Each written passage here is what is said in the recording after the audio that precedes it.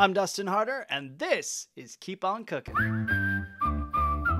Hello and welcome to Keep On Cooking, the only podcast dedicated to plant based cookbooks. I'm your host, Dustin Harder, and here's your one chance fancy. Don't let me oh. down.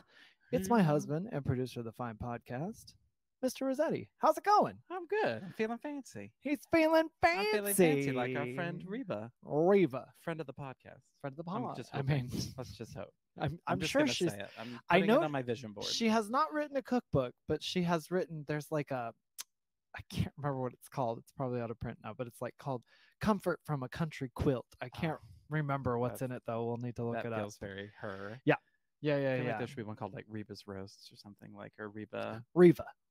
Why do you keep saying Reba? I can't. I don't know why.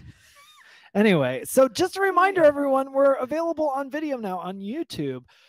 But as this is uh, the interview we're about to share with you was recorded before we started doing video. So for now, you've got David and I on the intro, and then you've got audio for the interview. But eventually, it's going to be all video all the time. Can't stop, won't stop. We haven't. favorite authors will be on yes, video. yes, yes, and we've got uh, an amazing author today. Today, his name is Dr. Sheil Shukla, and uh, this book, Plant Based India, is so good. But let's talk a little bit about Indian food, David. What's some stuff that we love to order out?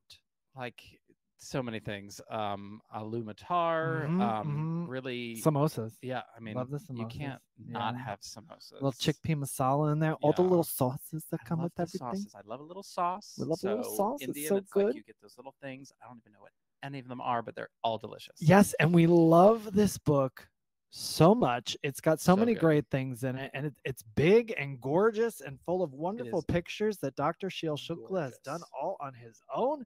It's just beautiful. If you're watching the pod, I'm holding it up right now. This cover is outstanding. We talk about the cover in the interview. He goes through what all of these dishes are Yeah. on the front here because there is an array of delicious things available. A couple things we made in this book. We made the palak, palak tofu and the matar tofu and the the matar tofu has this delicious tomato and onion Oh. masala base delicious. And did we did we make naan?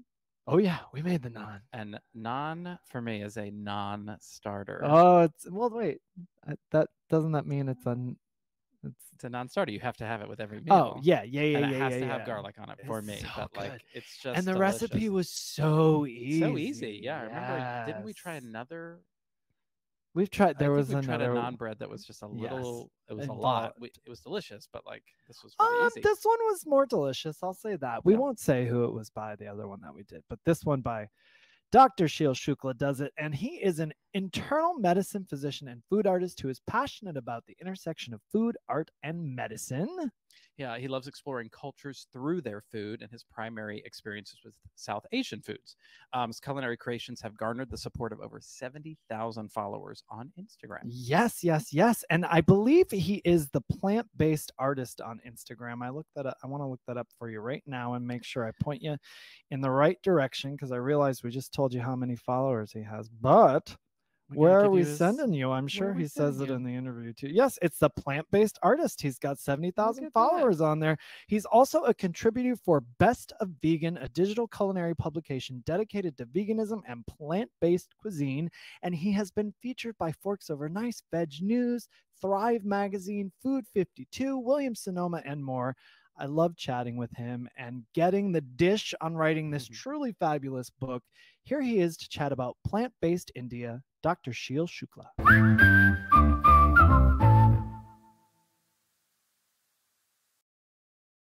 Food is medicine, but that doesn't mean boring or lacking in flavor. Here he is giving us whole foods served up authentically with bold flavors in his new book, Plant Based India. It's Dr. Sheil Shukla. Welcome to the podcast.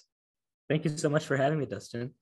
Yes, I'm thrilled that you're here. I love this book. We're going to jump in with your icebreaker question. What's something you've drawn inspiration from recently? Recently, I would say the season. So, summer, you know, all of the produce is perfectly in season. Um, it's just such an inspiring time. Summer is one of my favorite seasons.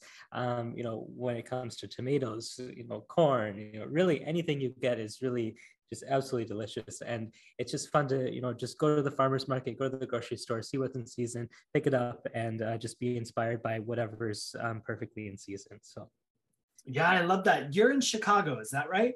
that's right. Yeah. Do you have a favorite farmers market that you go to there? I actually just moved out uh, to this to the north suburbs, um, so I'm Okay. I'm still searching for an ideal farmers market up here.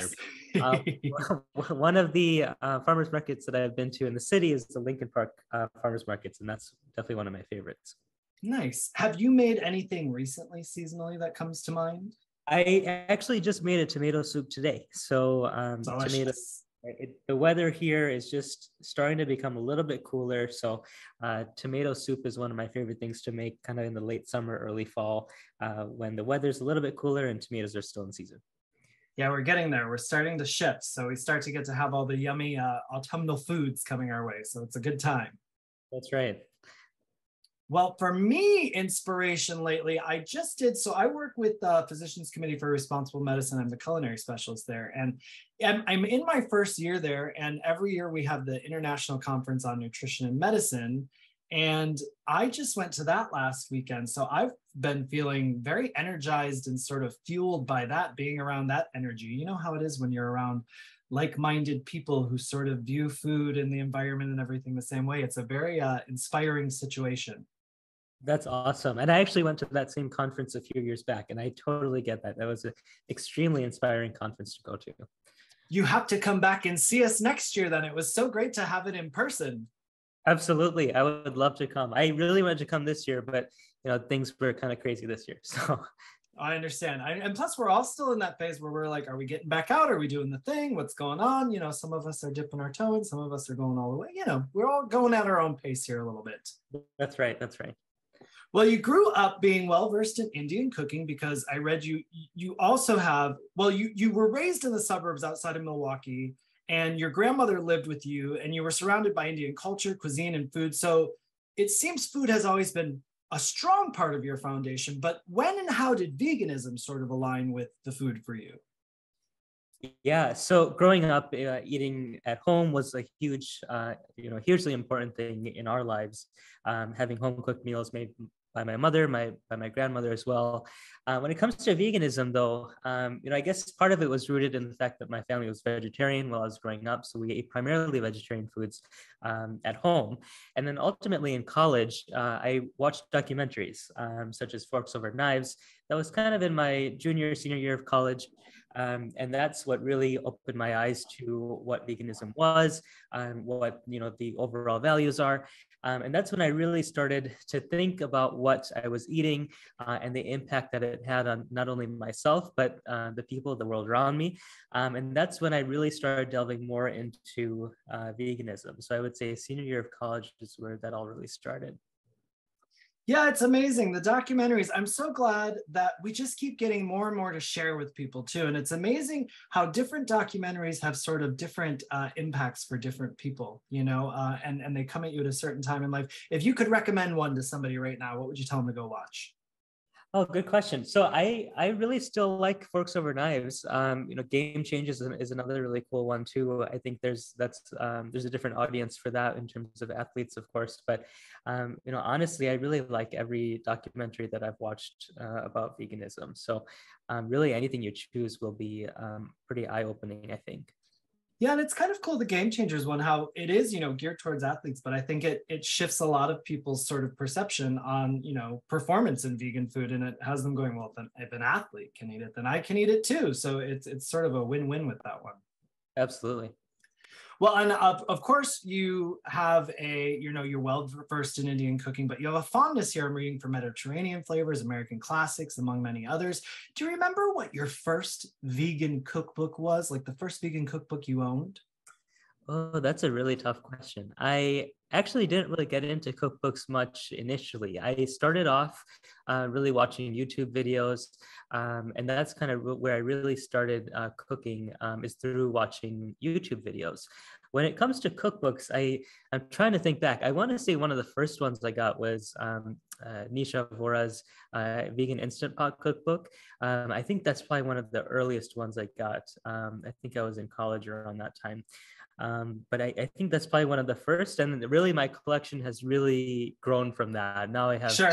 30 50 cookbooks now. So amazing. Do you have a favorite one that you go to? I, I mean, we don't want to single anyone out, but we do. Is there one that you sort of go to again and again that has become a standby for you? I think a standby, I guess, which is technically not a cookbook, more just a cooking resource, um, is the Vegetarian Flavor Bible. Um, that is one of my favorite books because there are technically no recipes in it. It's just about flavor, um, you know, combinations. So that's something that I like because oftentimes I go to the store, pick something up, and then I try to think of what goes well with it, and that's a great resource to have. That's great. That is a great resource. And speaking of books, let's get into your amazing book. I love it so much. Plant Based India Nourishing Recipes Rooted in Tradition. Gorgeous hardcover book full of vibrant photos. And of course, we need to share with all of the listeners here that you did the photography for this book as well. It's stunning. How was it for you writing the recipes and also providing the photography for these? Thank you for your kind words. Well, for me, it was extremely important that I do the photography also. I started uh, cooking really as an art form, I, and photography has always been an integral part of uh, the cooking process for me. So, um, not only was it important to develop all the recipes my, by myself, but also to do the photos uh, because I do have an art background as well. So, um, for me, an additional touch also was, you know, giving that cultural um, touch in the photography as well. So the personal touch when it comes to, you know, all the decisions I made in terms of what um, plates I use, the bowls that I use, uh, the fabrics that you see photographed in the picture, um, everything was very intentional. And, um, you know, for me, it was really important to have that personal touch. That's great. And it shows the details definitely show through in all of these photos. They really are beautiful. And this cover, I love this color. You feature several dishes on the cover. Do you have the book on you right now? Can you look at the cover and just walk us through what are each of those items that you have presented on the cover? Yeah, so the cover is a thali. So thali is a plate. Um, it's a way of serving a meal. Um, with you know, throughout India, every state has kind of their own version of a thali, but uh, mine uh, specifically is a Gujarati thali. So uh, a thali that comes from the state of Gujarat, where uh, my family family is from as well. Uh, and there are a few major components. So right in the center, you see brown rice. Um, rice being, of course, a staple in the Indian diet. And then uh, right to the right of that, you see a flatbread that's called rotli, that's made out of whole wheat uh, flour.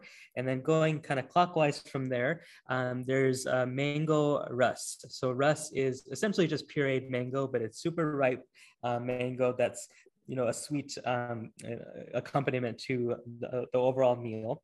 Um, continuing clockwise is a few vegetable dishes. So we have one made of cauliflower and peas, uh, one of cabbage, another of potatoes, um, and then uh, bell peppers.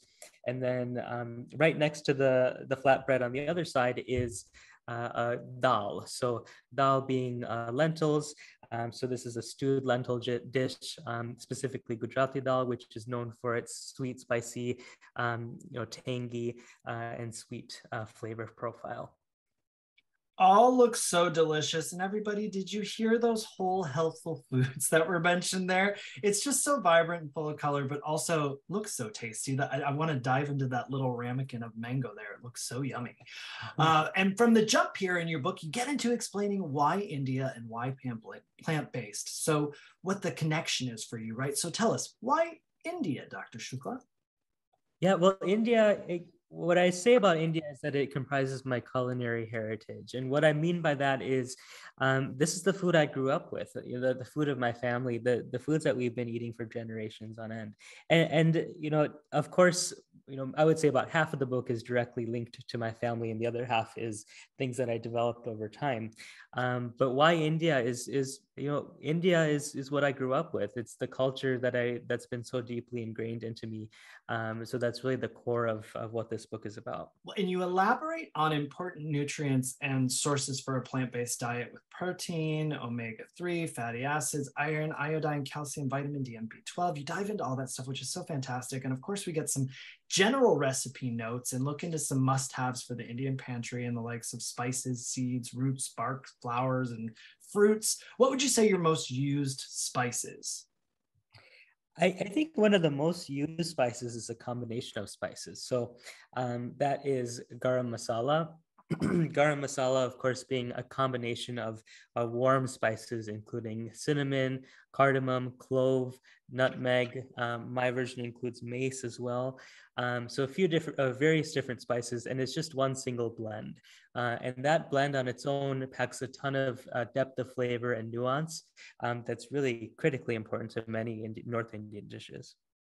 Well, I would imagine you're sort of like a mixologist when it comes to spices with with all of your knowledge with all of this because I know I make my own garam masala or sometimes I buy it depending on the recipe or the book I'm cooking from, of course. So there's garam masala. Are there any other spice blends that you always sort of have on hand? Garam masala would be the key spice blend. Um, otherwise, like you said, it's kind of mixing up spices um, just on my own. Another key spice uh, blend that I always have on hand, actually two, uh, and I have recipes for both of these as well. Is one would be chaat masala. That's a um, a saltier, uh, tangier version uh, of a spice blend that can be used to, to garnish dishes. And then another um, spice blend is uh, sambar masala or sambar uh, podi. So that's um, a South Indian uh, spice blend. And the main difference there is that it includes um, uh, lentils in it. Uh, so it has uh, chana dal and urad dal. Um, so that would be like the Indian chickpea and a white lentil, technically a black lentil that has had the husk removed. And that really gives a ton of uh, a nuttiness um, and a different flavor profile altogether, um, which is really characteristic of, of South Indian cuisine. And this is great here. Uh, listeners, he has a diagram in here with the dal and the the beans and it sort of breaks everything down and it's got a great photo here and it it, it identifies them all for you. So so he he leads the way for you here. It's really great. And in the general notes you also discuss recipes titles language and pronunciation. Can you expand on that? Yes. So uh, for me it was very important to stick to the original names when it was applicable. So um, to stick to the, the Gujarati names for these dishes or the Hindi names or sometimes the um, uh, you know other whatever Indian language uh, the dish comes from, um, and to have that original language there. So that was very important for me to maintain that authenticity.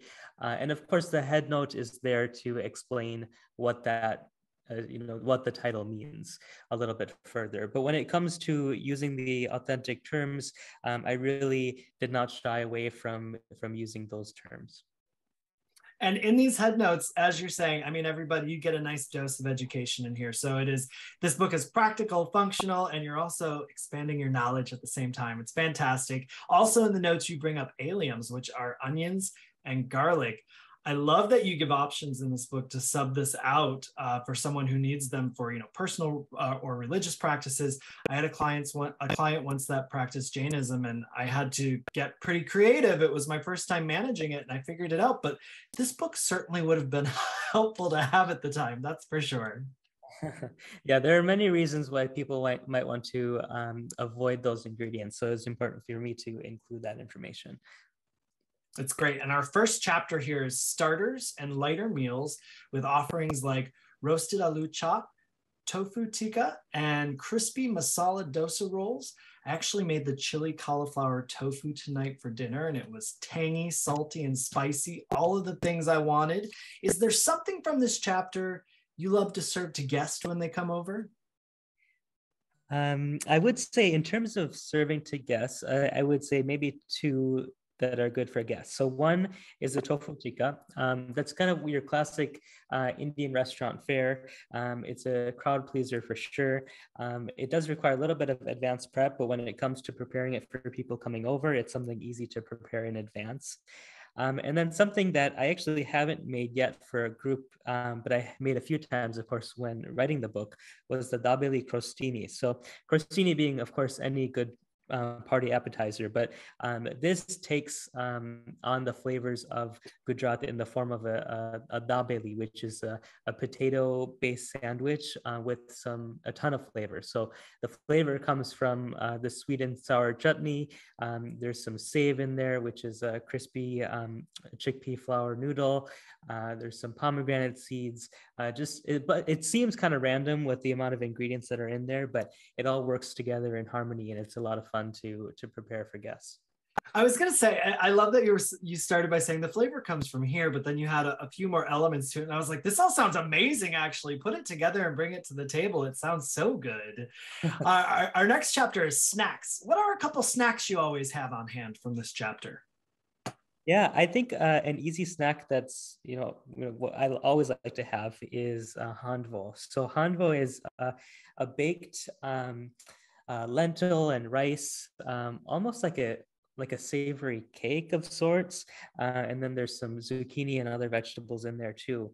Um, you know, we tend to always have that on hand and something that my um, my parents and my in-laws like a lot, uh, you know, to have with chai or just as a snack in the afternoon.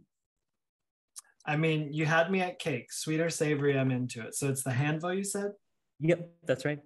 Delicious. And chapter three brings us into soups and salads. I love me a sweet corn soup that's in here, so I'll have to make that. And the creamy masala tomato soup. Speaking of tomato soups, it sounds so good with the cashew cream and finishing off with the mint for that little extra pop of flavor. But what's a favorite salad of yours from here? I, easily the garam masala papad salad. So every single time that I've made it, it's just been such a hit. Um, it's it's a great introductory dish if um, someone's just getting involved with Indian cooking, because in terms of spices, all you need is a good garam masala, which you, these days you can pick it up from pretty much any grocery store.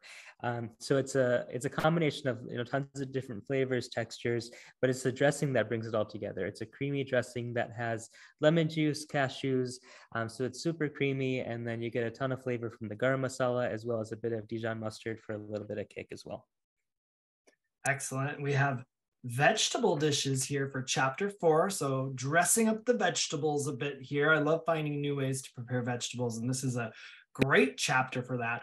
What are a couple of your go-to recipes from the vegetable chapter? I think a couple go-tos. The first being the first recipe in the chapter is flour vatana anushak, which is uh, cauliflower and peas. So this is a what one dish that I grew up eating quite a bit. Um, my vision is a little bit different because I roast the cauliflower before putting it in, because I like that the the the charring of the cauliflower. It, it just something magical happens when you do that. Um, so that's one of my favorite go-tos. And then I also like tindora. So tindora is an Indian vegetable. Uh, it almost looks like a mini cucumber, um, but it's a really unique flavor profile. And if you don't, if you can't find that, you can certainly substitute green beans, uh, which of course are a little bit easier to find. Nice. See, ways to spruce up your vegetables, everybody. This is great.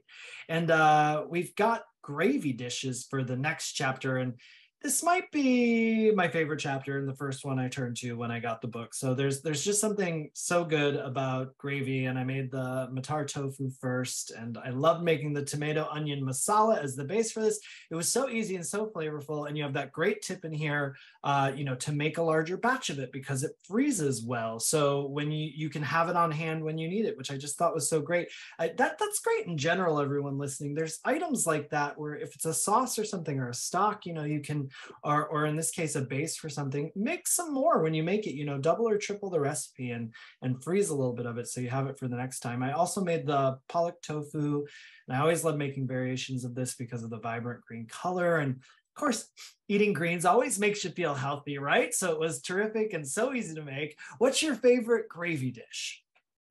I think, like you, I like pretty much every dish in this chapter. It's uh, definitely the most popular chapter, I would say. I think uh, when most people think of Indian food, this is the kind of dish that they think of. Um, especially here in the US, most Indian restaurants have most of this uh, on their menus. So um, I think you know, I typically say the Matar tofu is my favorite, but for today, I, w- I want to say my favorite is the Shahi Gobi. And um, I really like that because it has that um, the roasted cauliflower that I mentioned already with something just magical happening when you put cauliflower in an oven.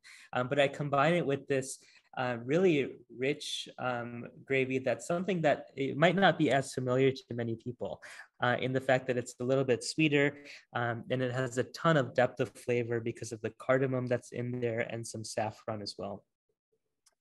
You know, I agree with you on the roasting cauliflower. There is something magical that happens in the oven with it. That's for sure. And I was feeling that tonight when I made that chili cauliflower and tofu. There's just, you know, the depth of flavor you get from from just roasting it for a while. It's so nice.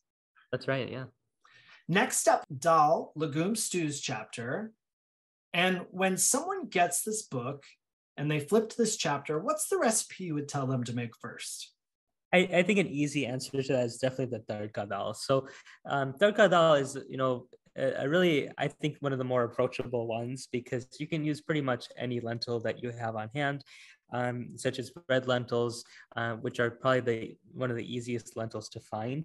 Um, and you know that one actually cooks up pretty quickly too, and you don't need a million spices.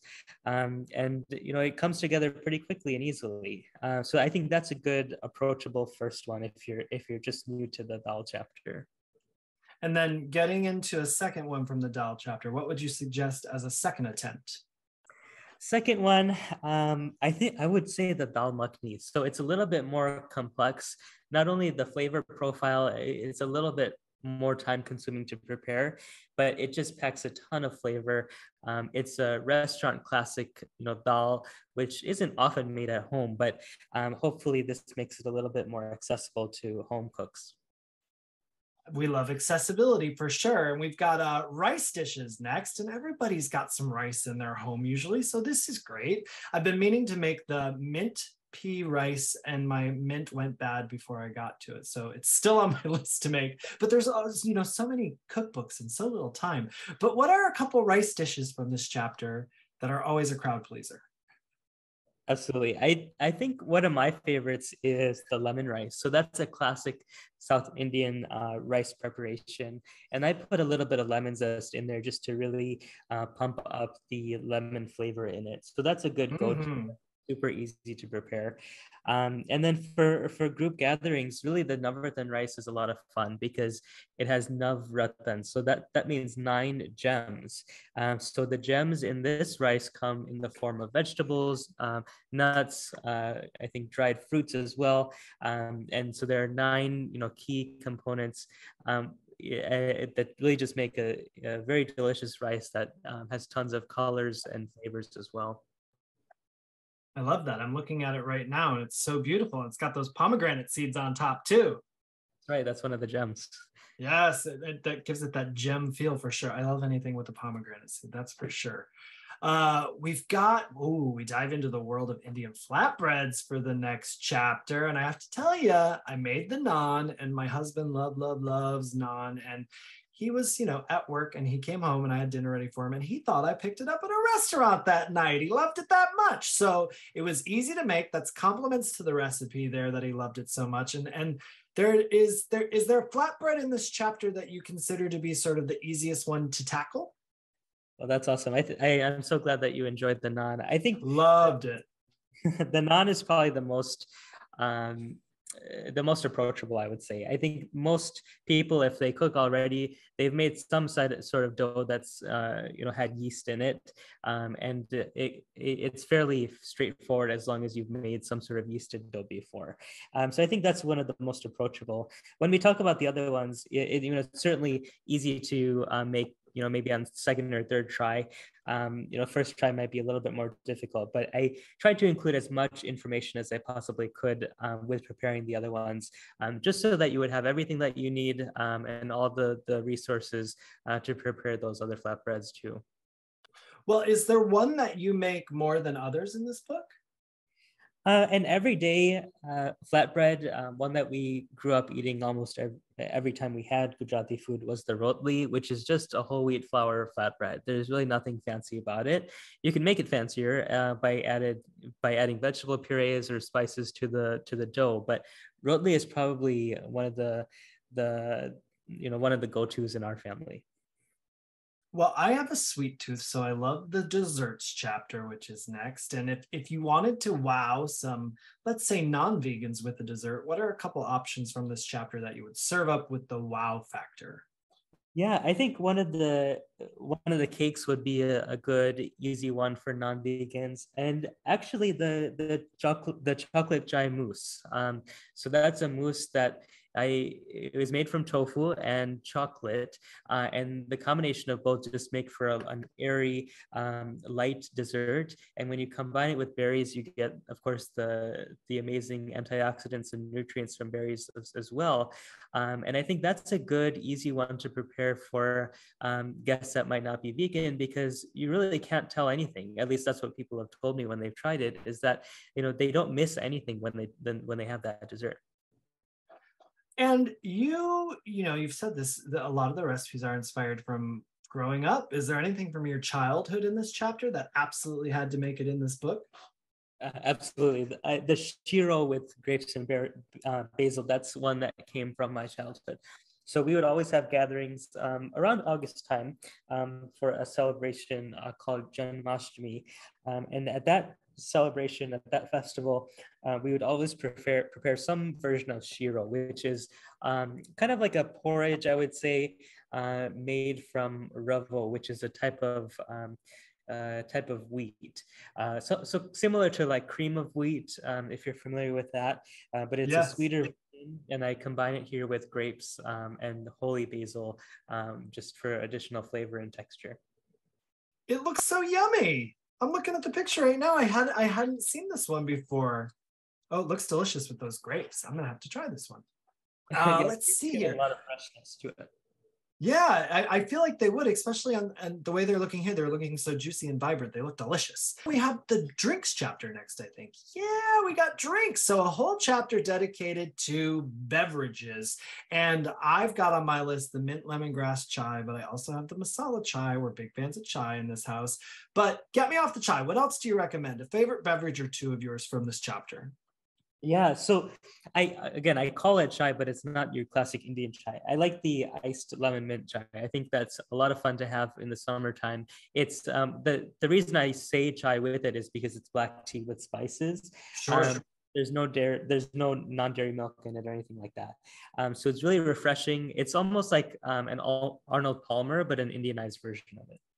Nice. Chutneys and condiments. We move into the next chapter there you know, the condiments chapter is so great because it sort of gives an overall glimpse of a cookbook. I feel like more often not than not, the recipes sort of reflect some staples that will be needed in uh, in the recipes, these condiment recipes, that is. So, is there a recipe for? You've got it in here. You've got it for non-dairy yogurt, a date chutney, a, a chili garlic chutney. Hello, yum! The garam masala dressing. So many great staples. What is something from this chapter that's always in your refrigerator? I think um, one that I oftentimes have in the refrigerator is the mint cilantro chutney or a cilantro peanut chutney. So, so one of the two green chutneys. Um, that's one that's always you know fresh in the fridge, ready to go because it goes well with so many dishes, um, so many uh, appetizers um, you know, other dishes within North Indian cuisine. That's one that I oftentimes have in the fridge. And then one that I oftentimes also have is the chundo. So chundo is something that, um, you know, home cooks might not be as familiar with. It's a, a mango condiment. So it involves a green mango that's shredded um, and then it's essentially preserved. It's almost like a, it's almost like a marmalade, but it's made with green mango. And then there's a, there's a ton of spices in there too uh, that give just a you know a delicious depth of flavor that goes really well with other Indian foods. I'm here for it. I love that mango, like I said. And we've got the best for last here spice of life, you might say, masala spice blends chapter. And we've sort of talked about this already. I, I feel like the garam masala is the one that you use the most. Um, is that correct when, when we're looking at spice blends? That's uh, you know, definitely our go-to spice blend. And you know on the topic we actually um, just made some uh, a large batch of garam masala to give out to our family and friends um, since we just uh, celebrated my son's um, first birthday. So oh uh, hey happy birthday Thank you. Thank you. So for all the guests that were there, uh, we gave them a little container of the, the freshly made garam masala. Um, and because it's also my son's favorite spice blend too, we added to a lot of his food. And that's been a really great way to expose him to different spices and flavors also. Oh, I love that. And did you say one year? Just turned one year, yeah. Well, so then happy birthday to him and congratulations to you. You made it through the one year. That's fantastic. And so I love that you gave that out as a little gift. Are there is there another spice in this chapter that you might consider sort of uh, as another item that would be a good gift or something that is also a multi-purpose spice? Yeah, I think a good uh, other gift spice would be the chai masala. Um, so that's just a blend of nice warm spices. And that's something that you can use in place of uh, apple pie spice or pumpkin uh, spice. Um, you know, it's something that you can use instead of those spice blends that work fairly well in things like lattes or cakes uh, or wherever else you would use you know, pumpkin spice or apple pie spice. I can't wait to make up some of these spices in here. It's so nice to, it's, it's, it's a very uh, rewarding and accomplished feeling to sort of have your own spice blends that you've made sitting on your shelf that you can use over and over again. So this is great. And uh, we end this book here. You've got, I love you have a two page section dedicated to the comments from your recipe testers, highlighting their favorite recipes. To everyone listening, recipe testers make our cookbooks soar. Without them, we're lost. They are the epitome of honest feedback and they help us get our recipes from good to great. And sometimes they even also help with grammar without apologies. They're fantastic. um, you had mentioned the um, the chocolate chai mousse with the berries and i hadn't seen it actually until i started reading the comments from your recipe testers and i was like ooh i need to make that now too so it's really great just sort of seeing, you know, these people get as involved in the cookbook as we are. So they really try things several times and they try different variations of it. So it was fun to read that. I really, really love that you gave them some space there. That's it's well deserved, of course. It absolutely is very well deserved. Well, that's Plant Based India by Dr. Sheil Shukla, everyone. Dr. Shukla, one last question. This is your book brag moment. Please tell me something you're most proud of when it comes to this book. I, am most proud of being so deeply involved with all of the different aspects and decision making when it came to the book. So, you know, every single detail I was closely um, a part of, whether it was you know writing all the recipes, doing all the photography, um, being very involved with the editing process. Um, but I think the most, you know, uh, my most proud moment was being able to just have such an important voice um, when it came to all of the decisions that were made for this book. Well, every detail shows through, and you have everything to be proud of. It is a stunning, beautiful book full of so, so much for all of our listeners to get right now and get cooking. And now, are you ready for your rapid fire round of questions, Dr. Shukla? I am very ready. All right, here we go. Number one food on a skewer or a tiny spoon? Food on a skewer. That's a lot more fun. and what's a must have kitchen tool?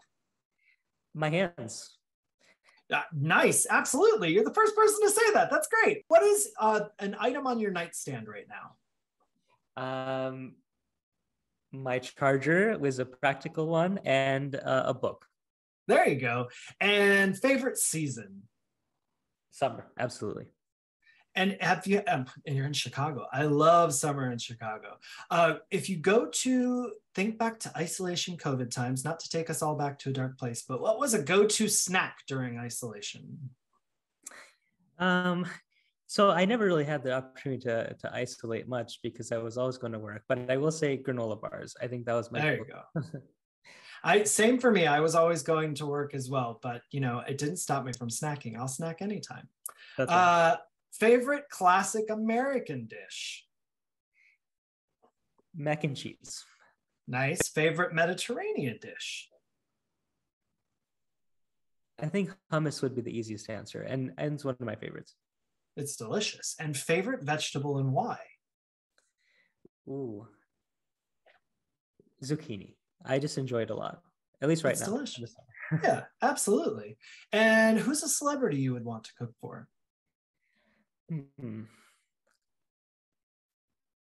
I honestly can't think of anyone in particular. I think it'd be a lot of fun to cook for any celebrity, really. There you go. That that works. Any of them. You'll take any of them.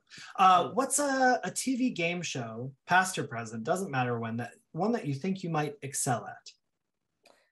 Ooh, um, maybe Family Feud. Very good. Very good. Do you think your whole family would excel at it? I think they'd do great. Okay. All right. Good, good, good. Uh, what is your most used emoji? Um, the smile one. Uh, very nice. And as a child, what did you want to be when you grew up? I think I've always wanted to be a physician. Fantastic. That's great. And I got a bonus question for you since you're in the Chicagoland area. What is one of your favorite vegan restaurants? And if you can't name one, you're welcome to name a couple of your go tos. Ooh. I, one of my more recent favorite ones is Spirit Elephant. Uh, and partly uh, the reason why is because it's in the north suburbs and that's uh, closest to where I live. So there you go. Uh, location is always a great reason, and it must also be delicious, right? it's absolutely delicious. Well, that's it. You did it, Dr. Shukla. Thank you so much for being a guest on Keep On Cooking. Please tell everyone where they can find you online and also on social media. Thank you so much again, Dustin, for having me. And for everyone listening, you can find me on Instagram. Uh, my account is plant based artist. Um, that's the easiest place you can find me. Just send me a message if you want to get in touch. Uh, and then you can also see me on my website. Uh, it's sheilshukla.com. Uh, and I have some other resources there as well. Excellent. Everyone, you owe it to yourself to go buy a copy of Plant Based India Nourishing Recipes Rooted in Tradition by Dr. Sheil Shukla, available everywhere books are sold. And you also owe it to your senses to follow him at Plant Based Artist on social media. Thank you again for your time, Dr. Shukla. It was a great pleasure to have you on the podcast. Thank you so much. I had a great time. Thank you for joining us for another episode of Keep On Cooking. Be sure to subscribe wherever you listen to podcasts and leave us a review if you like the podcast. It helps a lot. Yeah. And get more information on the podcast, Dustin's cookbooks, the Vegan Roadie series, and sign up for our newsletter at veganroadie.com. And of course, follow us at the Vegan Roadie on all social media platforms. Now get in the kitchen and keep on cooking. And hey, remember, it's nice to be nice. This has been a Muzzy Cat production.